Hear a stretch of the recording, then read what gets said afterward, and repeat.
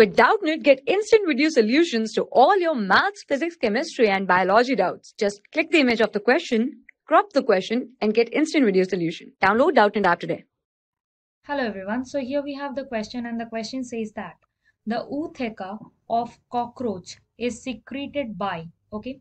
So the options are spermatheca, then here we have vagina, collateral glands and seminal vesicles, okay.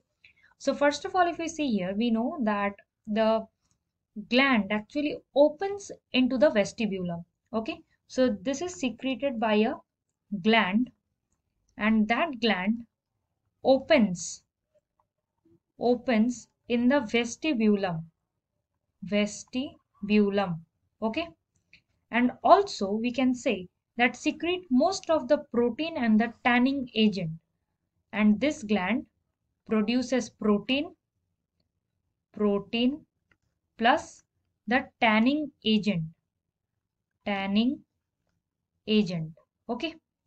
And also we can say that the protein may not be directly concerned with the ootheca formation while the latter probably secretes the alkaline resistant outer layer of the ootheca now coming to the point that the anterior and the posterior part of the cockroach secreting this structural protein which produce most of the material used in the formation of the ootheca.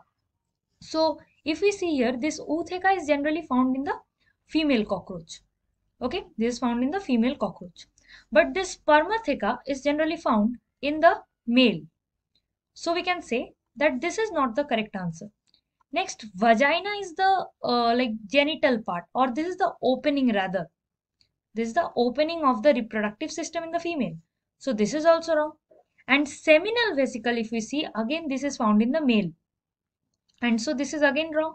So the only correct answer that is the gland we are speaking about here is the collateral glands. So this is the correct answer. Hope this answer helps you. Thank you.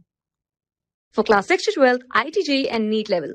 Trusted by more than 5 crore students. Download Doubtnut app today.